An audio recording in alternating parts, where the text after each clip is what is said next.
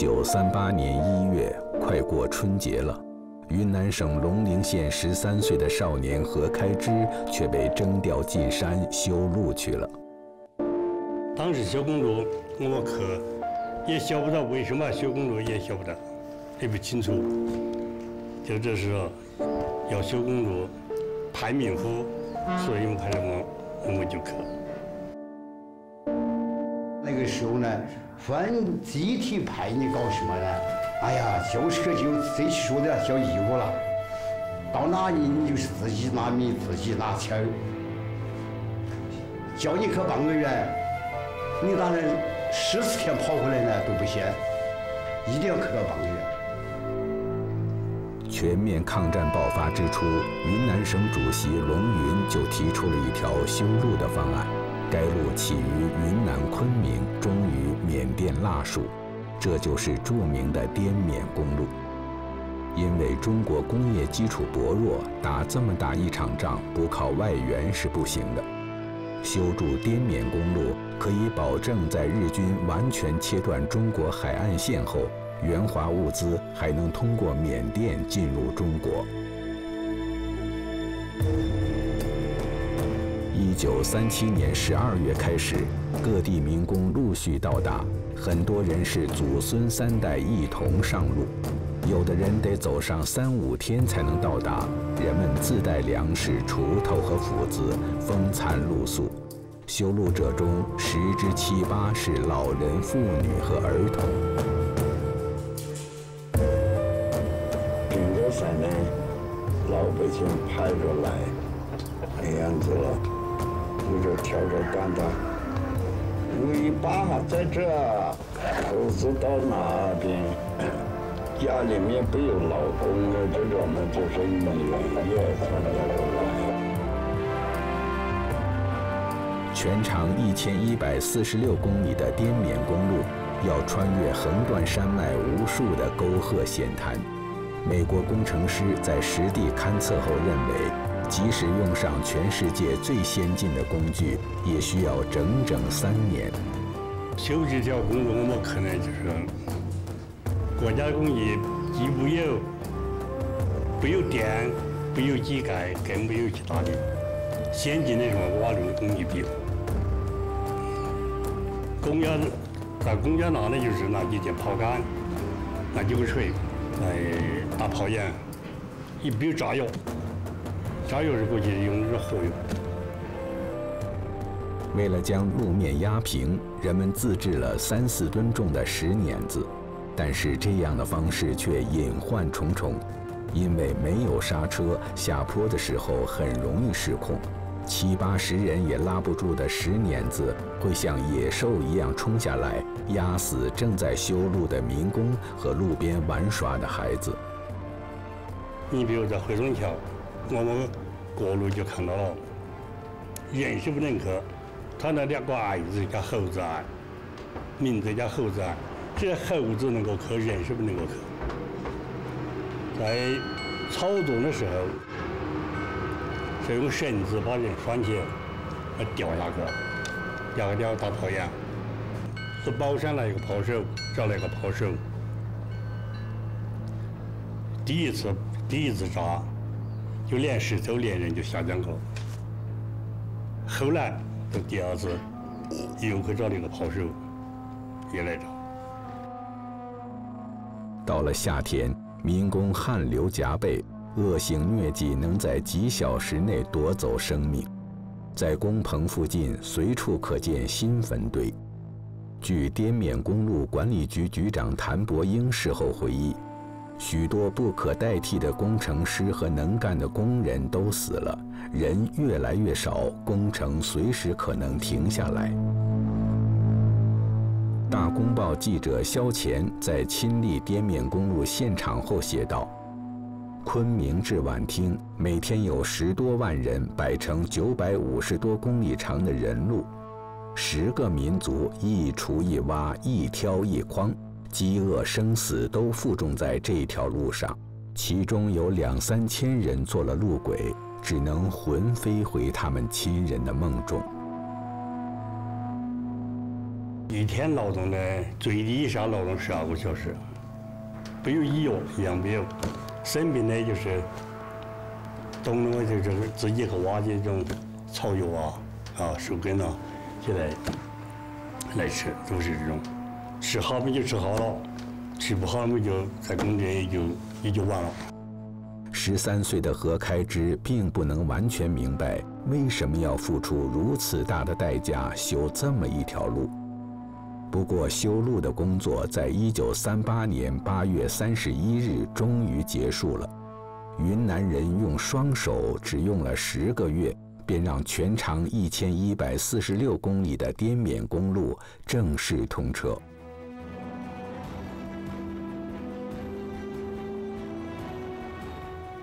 美国总统罗斯福对于通车的消息深表怀疑，为此他特地让美国驻华大使詹森取到滇缅公路后回国，以查看消息的准确性。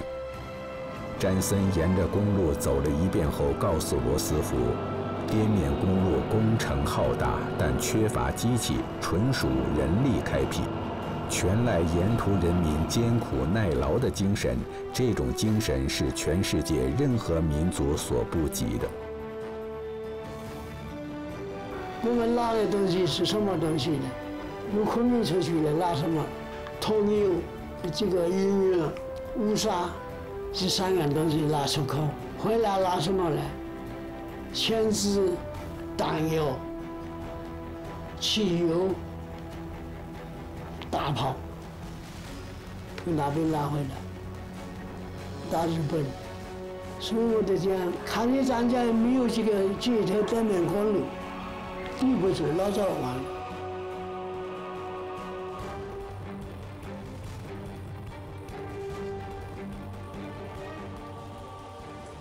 一九四二年五月，雨季，滇缅公路上一片忙乱。逃难的百姓、运输司机、刚刚败退的军队挤在了一起。一九四二年初，日军入侵缅甸后，沿着滇缅公路直逼中国云南。十万中国远征军入缅作战，但没能阻止日军。五月五日。为了不让日军跨过怒江，中国守军炸毁了汇通桥。日军疯狂的脚步终于在怒江西岸停下，但中国的唯一一条国际运输线也因此被切断。滇缅路失修的一下呢，就痛苦了，生活没有着落嘛，工作也找不着。那么就浏览这个昆明有几个地方啊，南千街，嗯，什么，嗯，以前一个叫警察坡，没有旅馆睡，睡在哪里啊？航湾到里边，可以说跟现在差不多。汽车上面就是像像钢炭、像木炭的这公共汽车。一般家里面的，一般公务员那种，这些能够做车检，就做酒精、消酒精、没汽油的，啊，有时候我们还帮忙他的嘛，就直接我们可以开吉普车嘛，就是装一点汽油再放，别人的朋友放一点点给你，很了不起。但一抓到就麻烦了，处理的，贪污汽油、枪毙这些。据蒋伟国回忆说。长这么大，目睹父亲脾气最坏的时候，就是缅甸战败那段时期。中国最后一条通道彻底被截断后，父亲明显憔悴，整个人一下子老了许多。那些天，身边的人连大气都不敢出。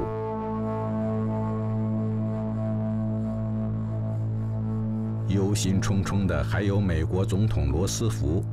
他很清楚，如果中国军队因失去物资支援而战败，中国战场上的一百多万日军就可以抽身投入太平洋战场，到时后果将不堪设想。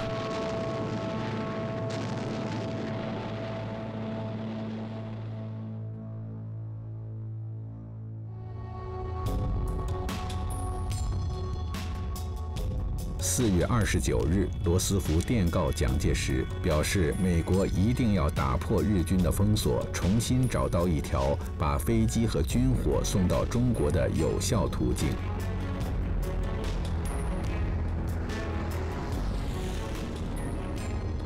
这条唯一有效的途径，竟是开辟从印度汀江起飞，向东横跨喜马拉雅山。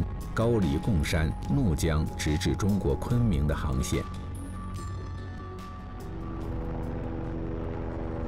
飞越高耸云端的喜马拉雅山脉和横断山脉，连绵起伏的高山陡谷，很像骆驼的背风，故称为驼峰航线。所有去中国的人都要飞越驼峰。要想进入中国，飞越驼峰是唯一的路。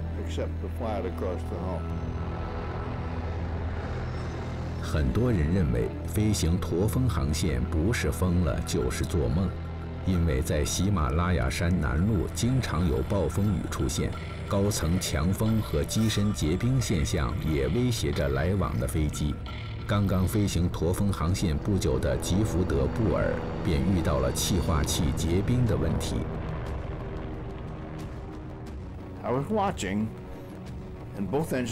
我观察引擎，两个引擎都失灵了。我把燃料加到了最大，然后打开气化器，却没有任何反应。所以我尝试用了所有可以用的仪器，希望能够让我飞过山脉。此时，飞机开始向下滑落，飞向白雪皑皑的雪山。那时候我很年轻，但我已经是一个老飞行员了。虽然我只有二十四或二十五岁，我开过很多飞机，那些飞机也没有气化机加热器，所以我再试了一次。啪的一声，引擎回火了，然后开始运转了。于是，我又拉动引擎，试着爬升。引擎逐渐运转正常，我成功了。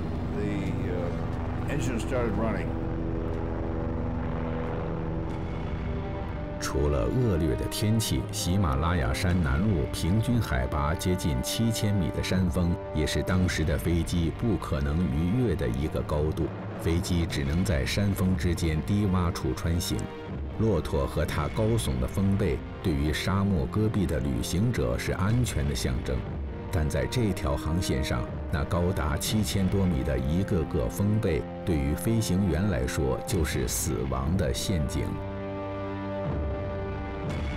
你以为过，结果你没过怎么办呢？就是上山了，好多都是以为是过了，结果就上山了。从中国飞的运动，经常一天摔两三架有的。由于飞机失事率太高，援华空军把这条航线称为“死亡航线”。在天气好的时候，飞行员们完全可以沿着山谷里占有坠机碎片的反光飞行。他们给这条洒落着占有飞机残骸的山谷取了个金属般冷冰冰的名字——铝谷。飞的是照飞，怎么飞完成任务就完了。因为谁都不知道明天回去是什么。关了飞机门，也不晓得什么时候下来。很多洋人就是上飞机才下去，所以有时候你看呢，一下飞机他吻那个地面，亲吻那个地面，是这么一个心态。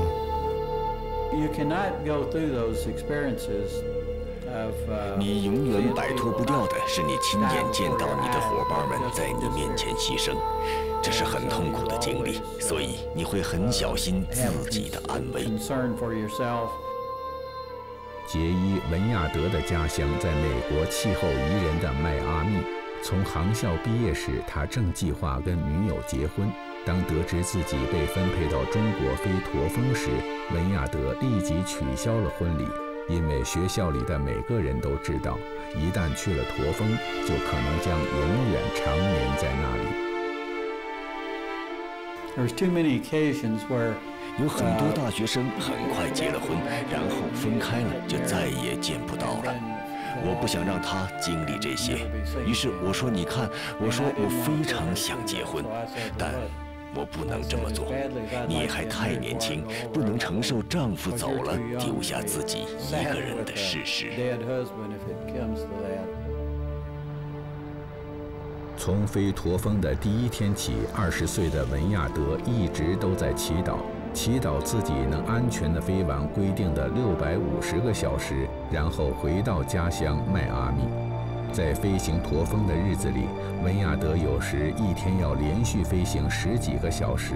那时候，平均每天有一百多架次飞机飞行在驼峰航线上。驼峰成了抗战中最顽强的一条生命线，但也因此成为日本空军最重要的攻击对象。一天，刚执行完运输任务返航的龙启明，突然发现两架日军战斗机正向他们飞来。怎么办呢？我们现在没有，没有什么护航，没什么，都是各飞各的，都是运输机嘛。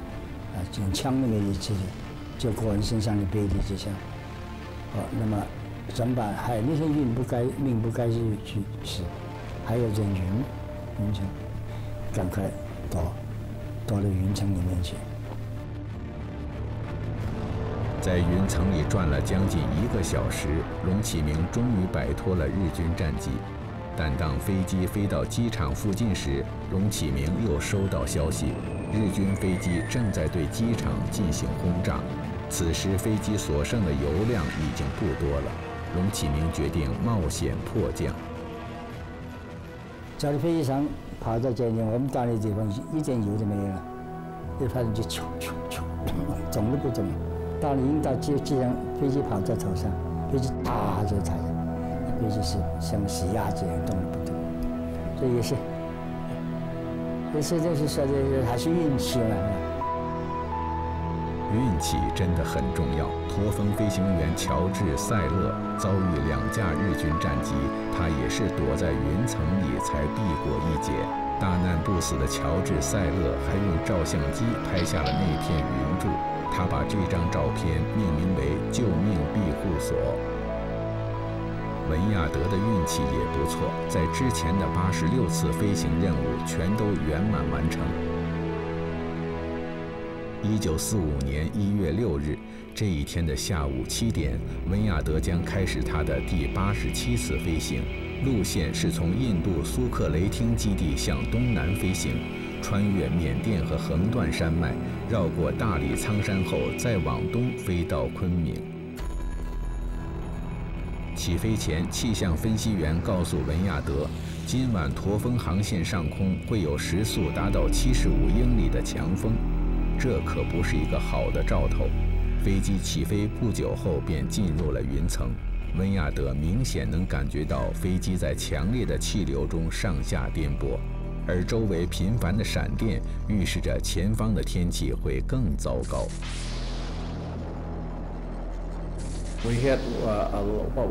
我们遇到了风切变，整个前面的一百英里都是雷雨区，在你面前，你可以清楚地看到。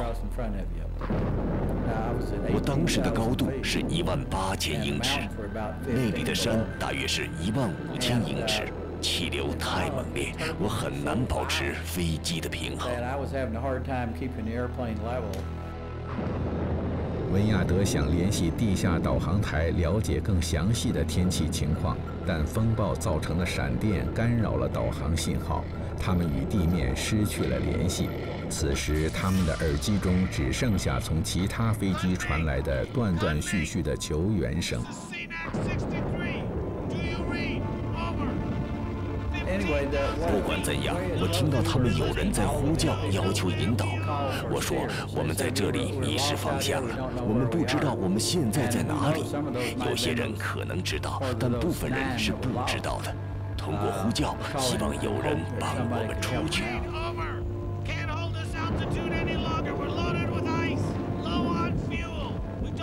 此时，副驾驶建议左转向东方的昆明机场飞行。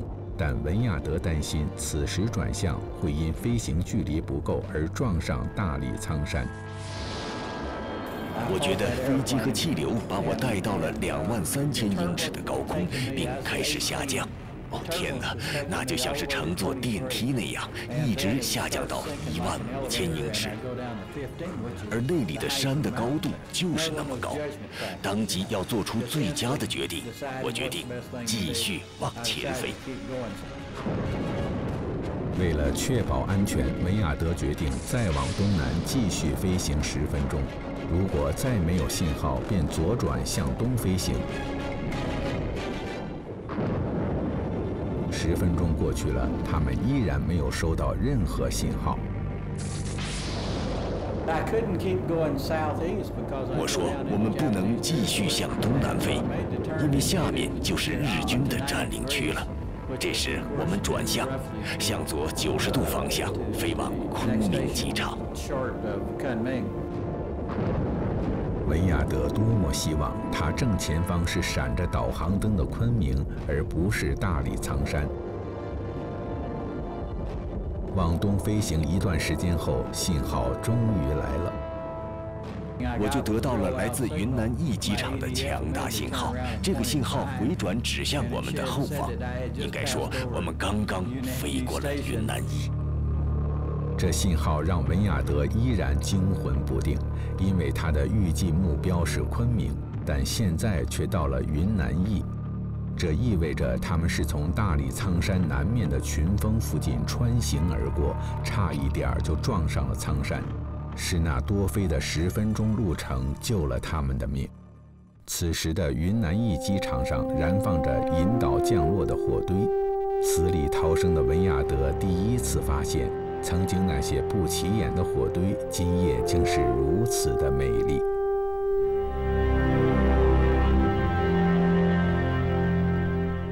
成功降落后不久，文亚德收到消息，由于天气过于恶劣，机场关闭，所有飞行任务被迫取消。那天夜晚，至少有九架飞机没能安全回到机场，所有机组人员全部失踪，其中包括文亚德的几名室友。In comparison with some of the other people, my tour was. 和其他人相比，我的经历真的好很多。但是你会很难受，因为你失去了室友。你回到宿舍的时候，发现和你一起生活的室友再也回不来了。你不知道他到底发生了什么。你知道，这样让我很难过。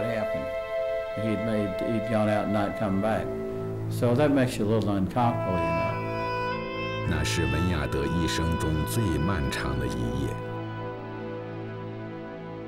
第二天。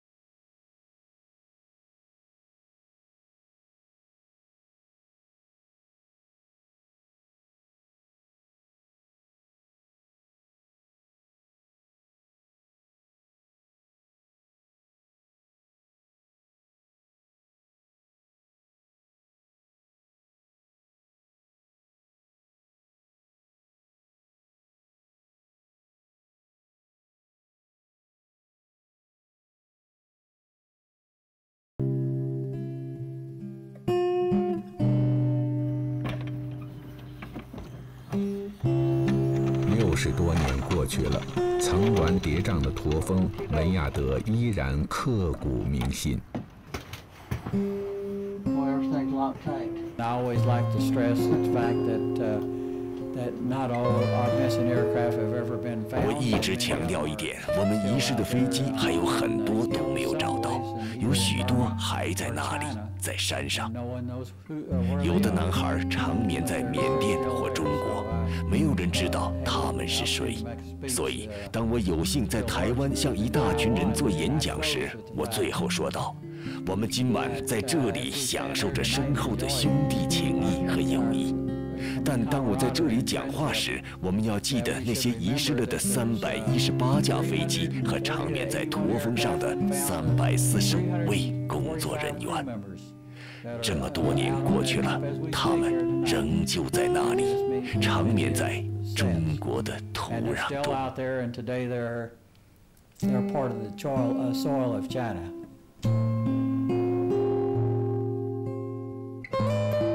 一九九三年，为了纪念驼峰航线对中国抗战的贡献，中国政府在云南昆明市修建了一座驼峰飞行纪念碑。二零零五年八月十五日，滇缅公路零公里纪念碑也在昆明正式落成。他们纪念着世界上曾经最曲折的两条生命线。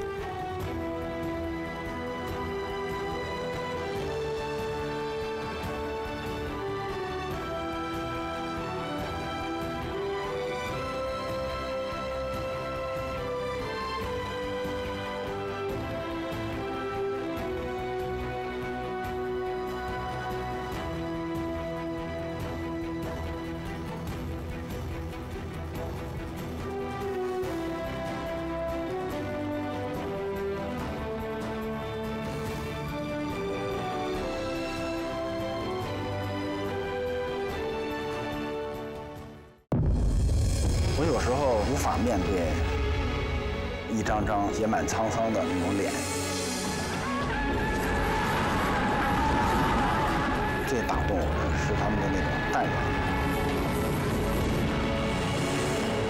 当我们静下心来听他们叙述的时候，发现他们当年去奔赴沙场、冒死拼搏的时候，